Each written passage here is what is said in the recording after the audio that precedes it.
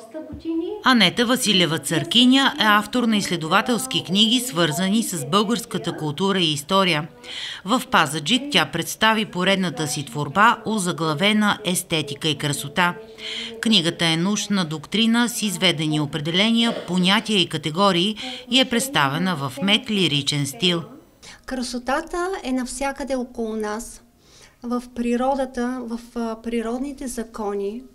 И когато ние се огледаме и се свършим с тези сили на природата, било то небе, слънце, луна, звезди, земя, море, всичко това носи заряд, носи красота, носи съвършенството и хармонията, към които се стреми всяко едно човешко същество, всяка душа. Изначално във всеки един от нас е вложено това да търсим красивото и естетичното. И всеки един човек, независимо дали е красив или не е според физическите разбирания, има стремеж към красивото. Църкиня изследва и обобщава природните процеси и сили, които формират физическото тяло с неговите висши прояви и състояния. Книгата сама по себе си говори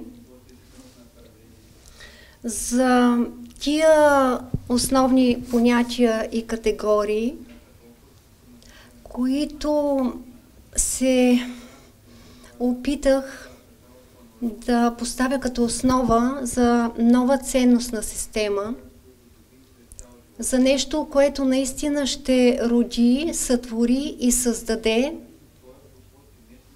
ново мислене, нова творба, ново изкуство, нов живот, нов бит, ново общество, нови нежни приятелски отношения. И изобщо красота в и хармония във всички видове изкуства.